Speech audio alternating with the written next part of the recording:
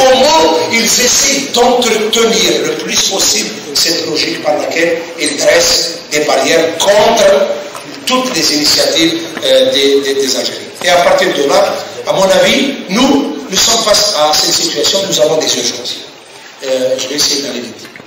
La première urgence, c'est nous mobiliser, nous maintenir d'une manière pacifique, d'une manière unitaire, restons soudés, restons soudés, ne pas céder à la part, parce que le pouvoir va tenter, il va tenter de nous diviser, il va tenter de faire des débats qui sont importants mais qui ne sont pas prioritaires aujourd'hui.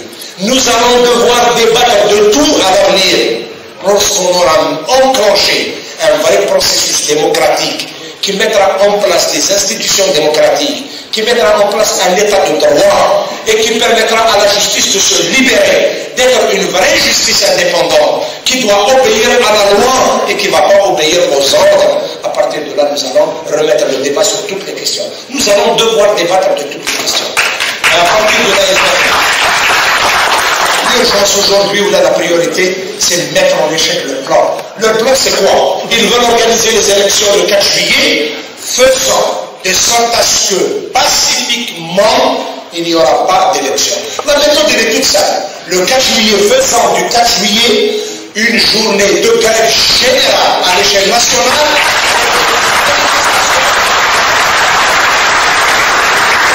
manifestations dans toutes les communes d'Algérie, dans toutes les villes d'Algérie, le peuple algérien doit sortir,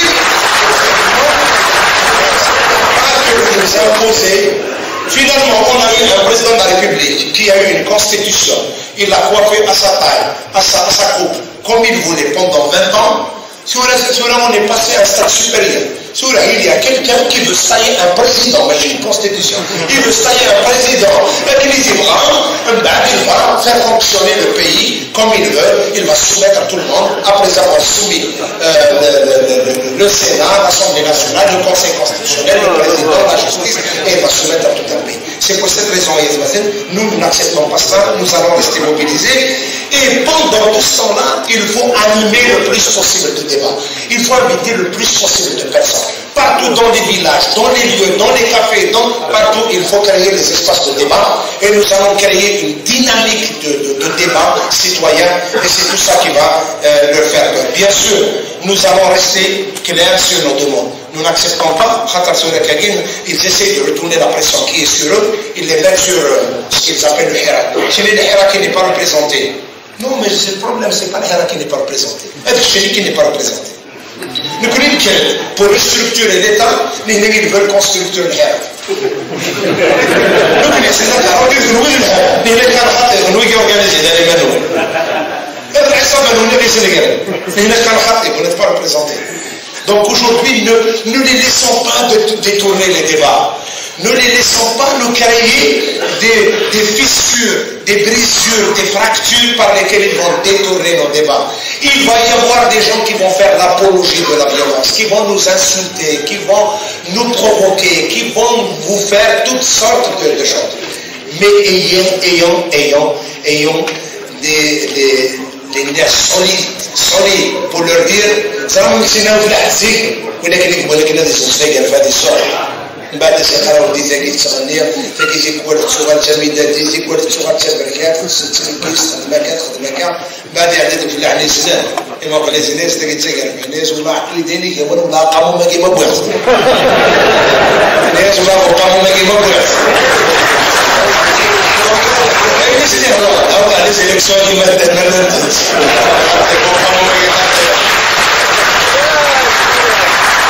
Alors, à partir de là, nous connaissons l'État, nous sommes des hommes responsables, nous sommes des militants, nous aimons notre pays, nous voulons aller de l'avant.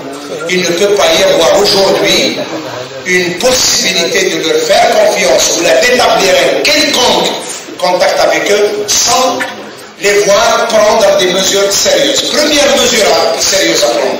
Les Algériens refusent Bedoui. Les Algériens refusent ça. Mais il faut en finir, il faut sortir de cela. بعدك دينين بعض الجماعات المرتبطة بالخارج في فرنسا وكذا وكذا الزوار في الشرذمة معليش سيدي سمي دار الشرذمة سمى دار الزوار سمى دار Mais attention, mais les faits sont là. Mais qui a passé un accord mais qui a passé un accord entre la justice algérienne et la justice française pour empêcher toute poursuite judiciaire contre les hommes du pouvoir. Mais c'est Taïb qui a passé cet accord avec la justice française. Mais c'est eux qui ont reçu l'imtiyaz, la faveur pour tous les, les gradés de l'État. Ils ont eu une faveur de la France c'est la possibilité de résider pour une durée de 10 ans en France.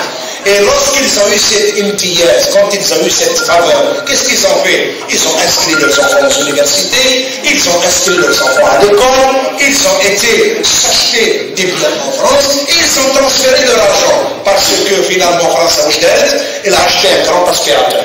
Il a acheté un grand aspirateur. تمكنيتي ديال الجزائر من بعد الشعبي من بعد ولا كيعجب باريس يبون يبون يبون تشكر mais c'est la réalité. Mais qui a accepté qu'on lui facilite ces, ces, facilités? Mais qui a soutenu depuis le premier mandat, le deuxième mandat, le troisième mandat, le quatrième mandat? Mais c'est la France qui soutient le pouvoir. Mais c'est le pouvoir qui est l'allié de la France. Et c'est pour cette raison aujourd'hui, nous voulons réaliser la libération, la vraie libération de ce pays. Nous voulons libérer ce pays de cette logique mafieuse parce que malheureusement, même les relations algéro-françaises sont restées depuis 62 otages de réseaux d'intérêt, de réseaux et des services d'intérêt. Malheureusement, entre la France et l'Algérie, ça a été toujours une relation de complicité entre le pouvoir et la France. Et tellement le pouvoir algérien, il lui manquait l'essentiel, et il lui manquait la légitimité populaire, il lui manquait la légitimité démocratique. Donc il avait besoin à chaque fois de la France. Mais souvenez-vous, souvenez-vous lorsque, lorsque Chirac est venu après les inondations de Beblouet, comment les Algériens par le rejet de leur régime, se sont retrouvés en train de demander des visas à Chirac. Souvenez-vous lorsque Sarkozy avait dit Je soutiens Bouteflika à Alger, sinon c'est les talibans. Il efface d'un main, d'une seule main, tous les sacrifices d'hommes et de femmes qui se sont battus pour la démocratie dans ce pays. Souvenons-nous, souvenons-nous de Hollande lorsqu'il est venu pour se moquer de nous pour se moquer des Algériens et nous dire que j'ai été reçu par le président de la République. Jamais j'ai trouvé un président d'une telle qualité intellectuelle. Alors que le président ne, pouvait, même pas, ne prononcer ce mot. Mais souvenez-vous de Macron lorsqu'il a soutenu, il a soutenu la conférence proposée par Bouteflika et il soutient les élections de, de Donc il a toujours été et le, pouvoir algérien a toujours été complice et le pouvoir français a toujours été complice avec le pouvoir algérien. Ce n'est pas à nous qu'on va nous donner, à qui on peut donner des leçons sur le nationalisme et sur l'amour de ce pays. Les, solutions existent. Les solutions existent, je m'attendrai. Mais les solutions, les solutions. Oui, les solutions existent. On peut donner des exemples très simples et vous allez voir qu'on peut s'extraire, se sortir très vite de cette crise et puis nous allons développer le pays. Nous avons les moyens de développer ce pays. La première, c'est qu'il faut un minimum de mesures qui soient prises. Mais pourquoi vous faites, euh, mais pourquoi vous soumettez Alger au même régime de Rassa? Mais pourquoi vous bloquez les gens? Ils ont le droit d'aller à Alger manifester. Mais vous n'avez pas le droit. De quel droit vous dressez des barrières et vous renvoyez les gens? Mais de quel droit. Mais il n'y a aucun droit. Mais même si vous, vous, nous imposez cette constitution, mais la libre circulation des personnes est consacrée dans cette constitution. De quel droit. Tu dresses ces barrières sur toutes les entrées d'Alger et tu empêches les Algériens d'arriver à la capitale. De quel droit? De quel droit tu diminues de, la capacité d'Internet et tu diminues, tu te donnes le droit de faire sur écoute les téléphones personnels des personnes? Mais de quel droit tu écoutes mon téléphone? Mais de quel droit Mais de quel droit tu arrêtes le métro, de quel droit tu arrêtes les bus, de quel droit tu, tu, tu, tu ce pays comme c'est ton bien personnel, mais ça c'est un bien public, mais c'est un bien du pays. Et de l'autre côté, tu imposes un processus électoral et un chef d'État qui est refusé par tous les Algériens. Ce n'est pas normal. Cette situation n'est pas normale. Donc, nécessité, de quel droit tu arrêtes les gens et tu les mets en prison? Des, des gens qui activent sur Facebook, des gens qui, viennent manifester. Il y a beaucoup de gens qui sont, et puis avec des opérations, des opérations de, pour faire peur aux gens, souvent pour les rumeurs, ils écrivent sur Internet, regardez, ils font des symboliques, par exemple, on reçoit comme ça des, des, menaces déguisées. Mais de quel droit Et vous voulez, vous, vous pensez que c'est de cette manière-là que vous allez faire renoncer les Algériens à leurs droits Vous ne pouvez pas le faire. Alors, les, les, questions qui se, qui se posent à nous, à mon avis, est-ce que, comment mettre fin à, à, à, ce pouvoir? Comment mettre fin à ce système-là? Je pense que poursuivre le mouvement, vous savez, nous avons réalisé beaucoup d'exploits. Je vous assure que si on pouvait faire la comptabilité de ce que nous avons réalisé depuis le 16 février, depuis le déclenchement de la révolution pacifique, depuis Khamata et Khamcha, depuis le 16, vous savez, au fait, on a, prouvé quoi? On a prouvé que dans ce pays, il y a une Algérie du dedans, il y a une Algérie du dehors. L'Algérie du dedans, c'est l'Algérie de l'Aïssa il il est en train de fonctionner, ils attendent, et ça, ça les panique, ça les panique. Chaque vendredi, je vous assure, c'est un séisme et, ça, les, ça bouscule vraiment. Parce qu'ils auraient souhaité que ça s'arrête. Hein. Ils se sont dit, avec le mois de Ramadan, ça va en espérant, et puis voilà, on va. Mais finalement, finalement les mobilisations augmentent. Donc, nécessité, nécessité d'aller de l'avant. Mais nous allons tenter quelques réponses. Qui doit élaborer la nouvelle constitution Parce que ce sont des questions qui se posent Dans la nouvelle Algérie, qui doit élaborer la nouvelle constitution Par quelle procédure nous allons sortir de cette situation? Vous savez, il y a d'abord deux constitutions, il faut les distinguer. Nous avons besoin d'une constitution de transition, nous allons gérer la période de transition. Cette constitution ne répond pas aux besoins des Algériens en matière de gestion de la transition. L'article 102 est un piège, est un problème plus qu'il est solution. Donc la meilleure façon étant de rédiger une constitution qui va, avec laquelle nous allons gérer la transition. Certains, dans certains pays, une constitution de transition. Elle va contenir 20 à 30 articles pour gérer la, pour gérer la transition.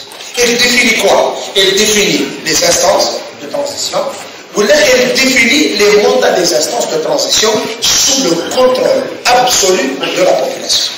Il s'agit de mettre en place une constitution qui définit les mécaniques, les institutions, les procédures par lesquelles nous allons gérer la période de transition. Maintenant, s'il y a nécessité d'élire à la, fin de ce processus, un président de la République. Cette constitution peut définir en avance c'est quoi le mandat de ce président. Est-ce que c'est un mandat renouvelable? Est-ce que c'est un mandat non renouvelable? Et on peut considérer qu'on peut élire un président pendant la période de transition qui va gérer cette transition et, il n'aura pas un mandat renouvelable. Donc, le principe de la Constitution, parce que je vais revenir rapidement sur les, instances, le principe de la Constitution, je m'attends. Il y a deux types de Constitution. Il y a la Constitution de transition.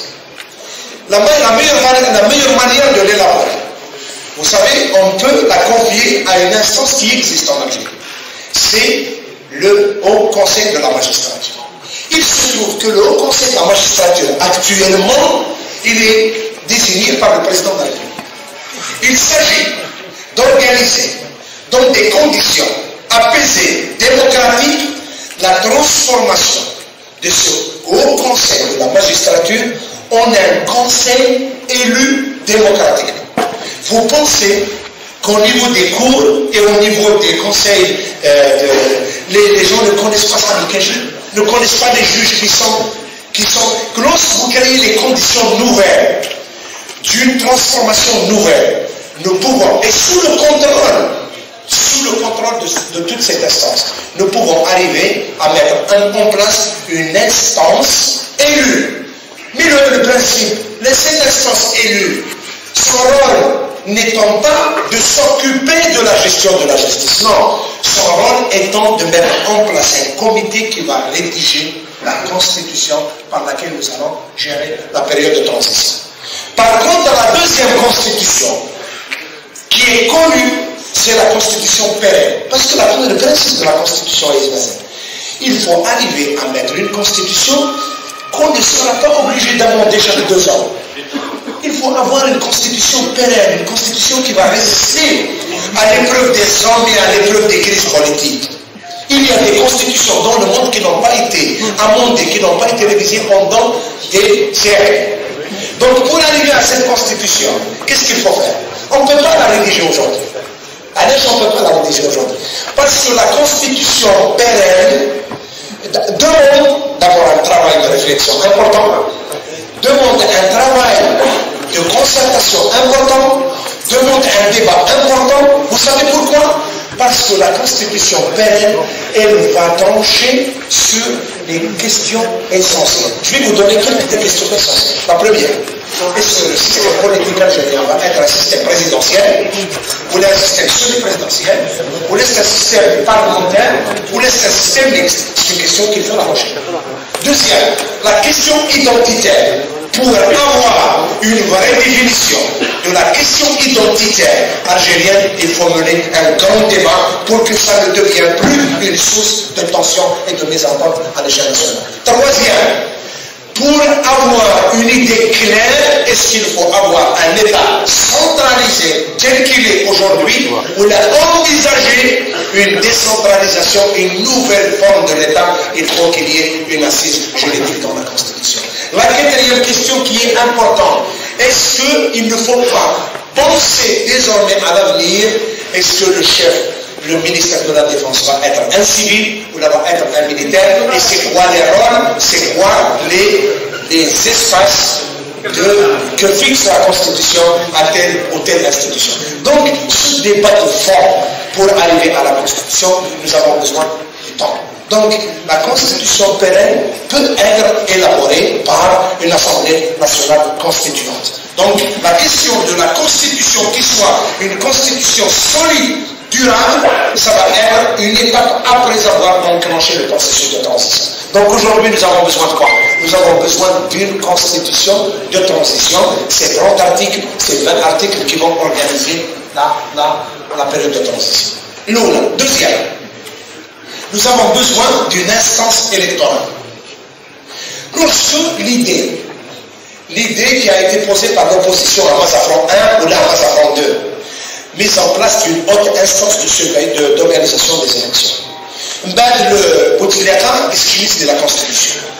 Vous savez, dans des pays démocratiques, tu n'as pas besoin de créer une instance. Il n'y a pas d'instance dans les pays démocratiques. Dans les pays où l'administration est neutre, il est au service des citoyens. Il est au service de la démocratie. Il est en équidistance de tout le monde. Il est neutre vis-à-vis de tout le monde. Tu n'as pas besoin d'instance. Dans un pays où on a trouvé, pendant ce temps-là, une classe politique qui revendique la mise en place d'une instance, et le pouvoir qui met en place une instance, c'est une reconnaissance du fait que l'administration n'est pas neutre. Que ceux qui organisent les élections ne sont pas neutres. Donc aujourd'hui, ce n'est pas possible d'organiser une élection, vous l'avez organisé vous-même. Mais ce n'est pas possible. Donc comment instituer une instance des élections? D'abord, en, termes d'assises juridiques, elle doit être elle doit être, elle doit s'appuyer sur une assise juridique. Est-ce que c'est la loi? Il va se poser un problème qui va rédiger la loi. On peut rester toujours dans le haut conseil de la magistrature élue avec une filière qui va se spécialiser pour créer un ancrage juridique à une instance électorale. L'instance électorale, qu'est-ce qu'elle va faire? Première opération, c'est qu'elle doit utiliser des méthodes modernes. Quand on interroge les jeunes, les informaticiens, lorsqu'on interroge les universitaires, c'est plus comme avant. Donc les gens sur les élections, il faut tout un processus. Il faut un processus de c'est tout d'abord. Nous avons un fichier électoral qui est tout. Les chiffres des ils sont faux. Il est 23 millions. Ce n'est pas sûr qu'on est 23 millions d'Algériens avoir l'âge de voter. On n'est pas sûr. Je vous assure que le pouvoir, c'est toujours arranger 3 millions ou 4 millions de voix qu'il utilise dans toutes les élections. Deuxième des choses. Deuxième des choses. Nous avons 56 000 centres et bureaux de vote à l'échelle nationale. Vous imaginez, si vous multipliez les centres et les bureaux de vote par chaque bureau de vote, chaque centre de vote, il te faut 3 ou 4 personnes, vous devez avoir une armée de 200 000 hommes. Parce que l'Algérie, sa surface, sa superficie, elle fait 5 fois la France. Et elle fait 205 fois Qatar. Pour vérifier tout ça, il te faut une armée. Mais le pouvoir a toujours joué sur cette place. Avec, messieurs et mesdames, avec une marge, avec un flou, il frappe avec les souffles. Plus de 5000 bureaux spéciaux, les bureaux, ce qu'ils appellent les bureaux spéciaux, c'est les bureaux itinérants au sud, c'est les bureaux des casernes et c'est les bureaux des Algériens qui votent à l'étranger. Donc 6 000, vous imaginez 6 000 lieux de vote impossibles à contrôler. Il est impossible dans ces conditions de mener une élection régulièrement. Par contre, si on introduit de nouvelles méthodes, d'abord il y a trois, trois bases, ils existent déjà. Salam Mouguelik de la PC, qui connaissent mieux que moi les questions administratives, il y a le S12. Le S12 est un numéro qui est attribué à tout un chacun. On ne peut pas trafiquer ça. Deuxièmement, on a dépensé de l'argent énorme pour faire la base biométrique, la base de données biométriques. Peut-être on est, on est arrivé à 50%. Rien qu'avec le S12, avec un numéro attribué à tout un chacun, sur une application informatique, tu vas réduire complètement, tu vas vérifier tout le fichier électoral. Et tu vas le, le fichier électoral de bout en bout. Deuxième des il y a des pays entiers qui ont transformé leur monnaie, leur monnaie, leur monnaie du billet, ils ont créé une carte, une carte électronique. En six mois. Et puis avec cette carte électronique, tu vas faire un contrôle électronique. Qu'est-ce qui empêche l'Algérien, l'Algérie, l'administration d'avoir un contrôle électoral avec cette méthode à tous les niveaux On aurait économisé une la gendarmerie, la police, من بعد تسقني من الوكنات يا وين البول يا من الوكنات يا وين الياقوت الوكنات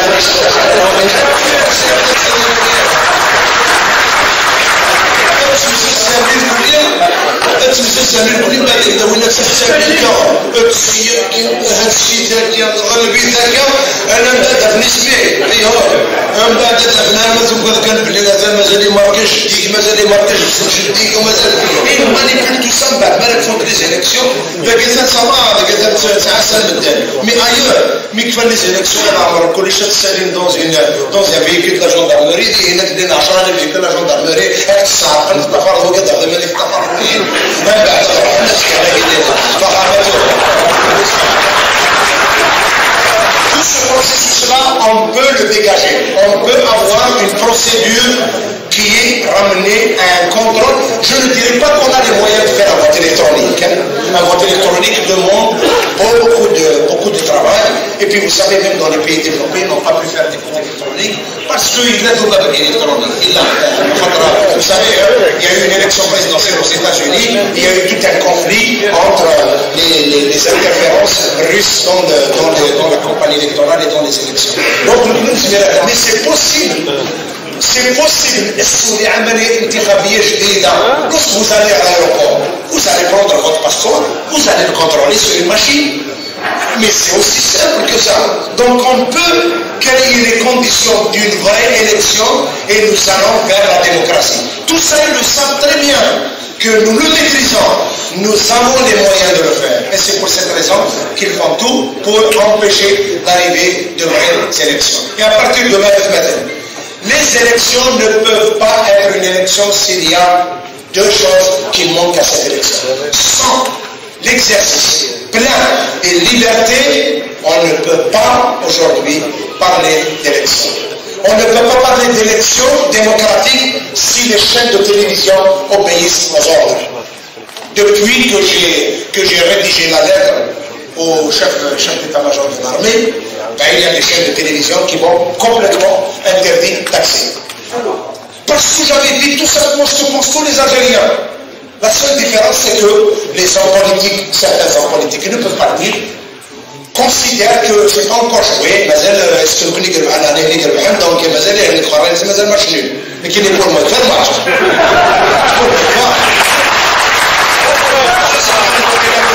مازال وقيلا عنصريه راه دونك هذه الافيرسيون سهلة صلاة الوقت بدل الضائع صلاة الكونتست Donc cette réalité-là est une réalité de tous les jours. Et à partir de là, une fois on a mis en place une instance qui rédige la constitution de transition, on a mis en place une instance électorale. Nous allons engager le débat, mais il n'y a pas peur du débat. Est-ce qu'il faut élire un président pour un mandat de transition? On peut considérer que le président qui va être élu va être élu pour un seul mandat de transition et il assure le fonctionnement de toutes ces institutions. Et à partir de là, je m'adresse, les sont ouverts. Les gens devront comprendre qu'on n'est pas assiégé par une obligation de donner des réponses tout de suite. Il s'agit de mettre en place un processus politique. Un processus politique demande une volonté politique. Et quand il y a une volonté politique, et tu laisses les libertés s'exercer à tous les niveaux, il y a des questions qui, ont, qui vont venir d'elles-mêmes. Par exemple, vous savez, dans les pays démocratiques, hein, aujourd'hui, dans leur constitution, ils sont en train de réfléchir. Ce sont des questions qu'on peut aborder, je m'adresse, parce que ce sont des questions de débat.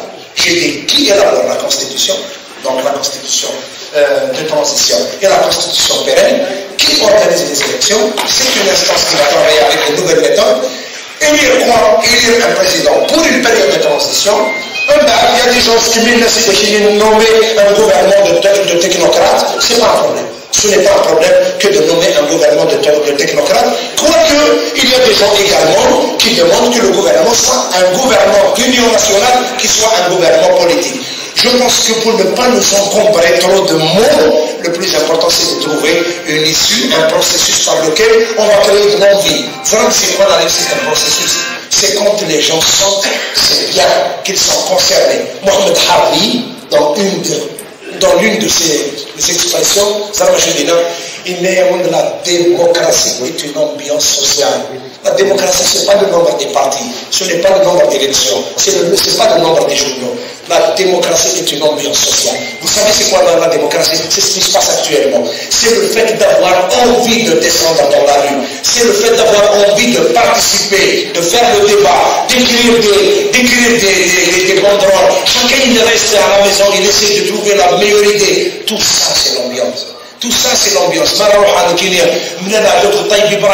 avec des artistes, avec des gens qui font la peinture, des gens qui, qui, ont du génie, des, enseignants à l'université, des avocats, des, handicapés, des chômeurs, tout ça, c'est ça l'ambiance. En fait, la démocratie, c'est une ambiance. Quand la démocratie devient une logique de contrôle, de surveillance, de peur, ce n'est pas la démocratie. Ça, ça, ça, s'appelle autre chose que la démocratie. C'est pour cette raison, même dans les pays démocratiques, on peut aborder quelles questions Quelles questions Moi, je veux bien que la classe politique, allez, je, je, suis loin d'être un donneur de leçons. Moi, je suis un militant. Je suis un militant, des fois, je ne me sens même pas militant, je suis un combattant. يمكن إذا قلت باسم الزهراء قال حاسبة خلاص حاسبة بالبوعي اليوم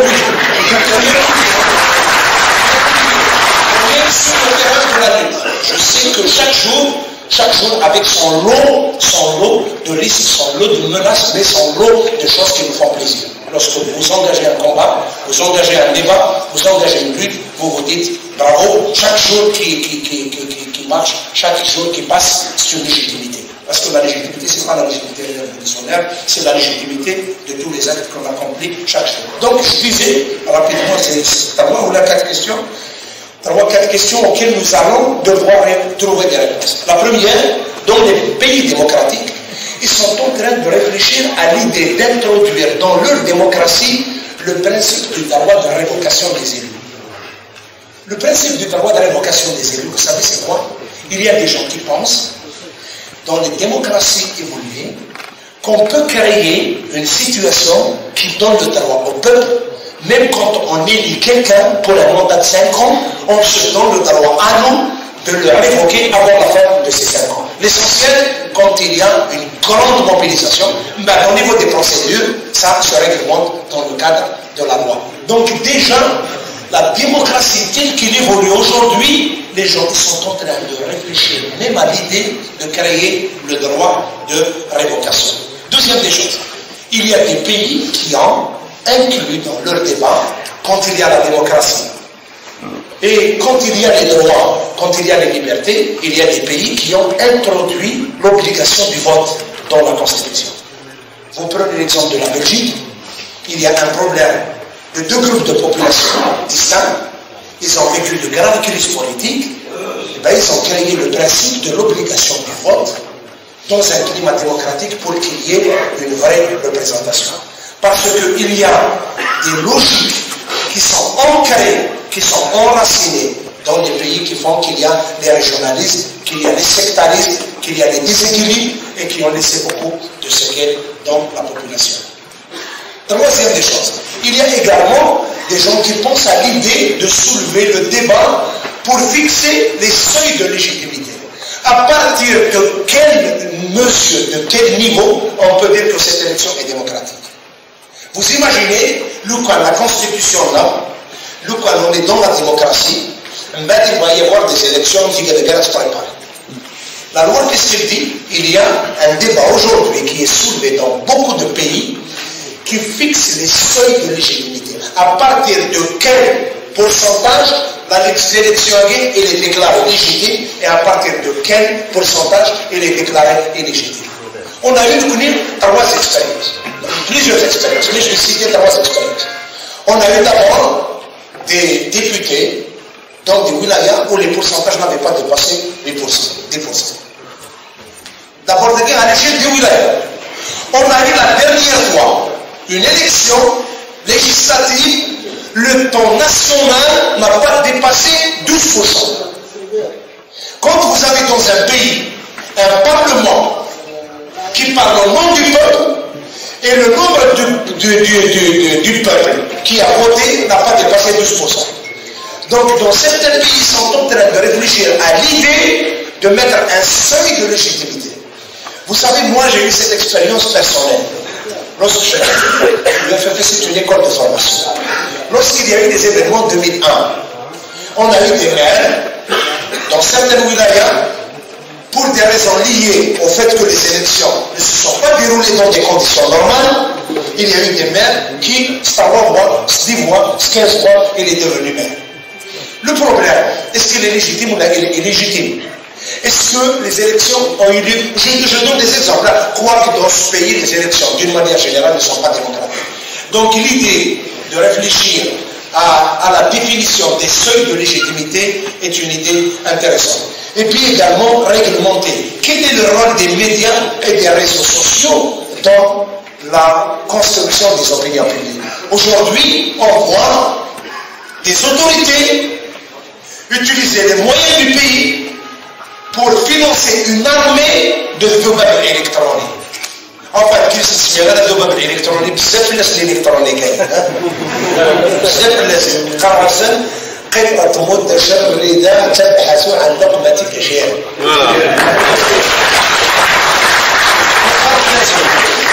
Mais quand vous avez dans un pays où il peut y avoir des hommes d'affaires, des gens qui ont des moyens, ou là des autorités entières, يتحكموا في الإعلام, يتحكموا في les réseaux sociaux, يتحكموا في الإنترنت, et il, il, il, il, il fait, il colporte quotidiennement des mensonges, se poser la question, dans un État démocratique, quel est le rôle que devront jouer les médias et que devront jouer les réseaux sociaux?